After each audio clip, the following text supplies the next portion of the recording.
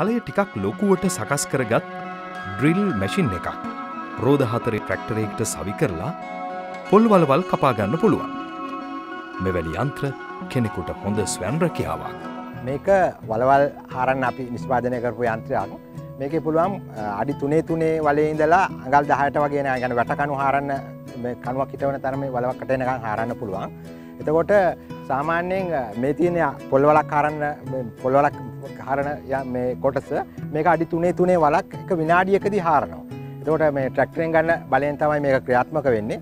සාමාන්‍යයෙන් අපි වලවල් හාරණ එකන ස්කවේට යන්ත්‍රයකින් කරනවා වගේ දහගුණයක් විතර අඩු වියදමකින් මේක අපිට වැඩ කරන්න පුළ විනාඩියක් ඇතුළේ අඩි තුනේ තුනේ වලක් කපනවා කියන සාමාන්‍ය මිනිසි මිනිහෙක්ගෙන් කරනවා නම් දවසකට වලවල් පහක් හයක් වගේ තමයි කපන්න පුළුවන් මේක විනාඩියකදී ඒ වලක් කපනවා එතකොට මේකට ව්‍යයවෙන ප්‍රමා ගැන වියදම ගොඩක් අඩුයි මේ ඊළඟ එක තමයි අර වැට අලි වැටවල් ඊට පස්සේ කෙසෙල් අඹ වගේ වටහරන්න මේ වෙනම අපි ගාව වෙන වෙනම මේකට කොටස් තියෙනවා. ඊටාම සරලයි. මෙතන තනි යන්නේකින් තමයි මේක හයි කරන්න තියෙන්නේ.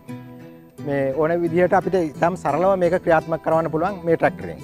මේ යන්ත්‍රය අපි ඇදුවට පස්සේ මේ ගමේ මේ අවට ගොඩක් දෙනා මේ උනන්දුනා පොල්ලිට මේ අවට ගොඩක් කට්ටියට අපි මේකින් වලවල්හාරලා මේ ගැන ඇතරම පොල් මේ ගම ඇතුළේ මේ ගොඩක් වවන්න පෙළමුණ මේ අන්ත්‍රය නිසා. ඊට පස්සේ අපි දැන් තට්ටු දෙකට වගේ ගහන ගෙවල් වලදිත් මේක පාවිච්චි කරන බේස්වලවල් කපන්නේ වගේ වටත් අපි මේ යන්ත්‍රය හය කරනවා.